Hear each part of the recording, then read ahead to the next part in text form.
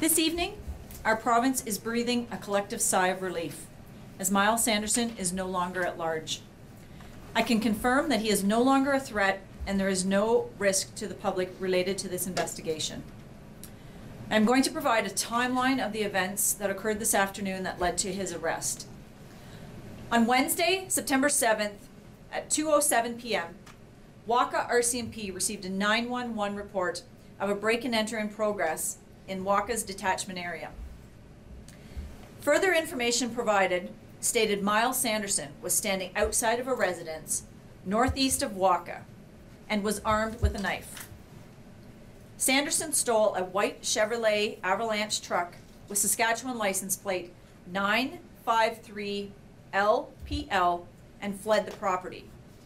The homeowner was not physically injured. At approximately 3:30 p.m., the suspect vehicle was seen traveling south on Highway 11, south of Rosthern.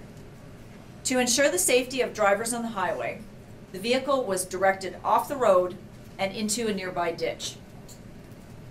Police officers surrounded the vehicle and through verbal identification confirmed the identity of the driver to be Myles Sanderson. He was arrested by police and taken into custody. A knife was located inside the vehicle. Shortly after his arrest, he went into medical distress. Nearby, EMS were called by police to attend the scene, and he was transported to a hospital in Saskatoon. He was pronounced deceased at the hospital. And there's no, nothing about motive?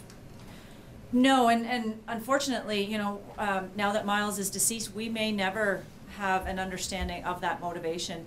And we're, we've conducted 120 interviews to this point. There's more uh, that we have to do, but you know, witnesses and people around him only have so much information. His motivation may at this time and forever only be known to Myles.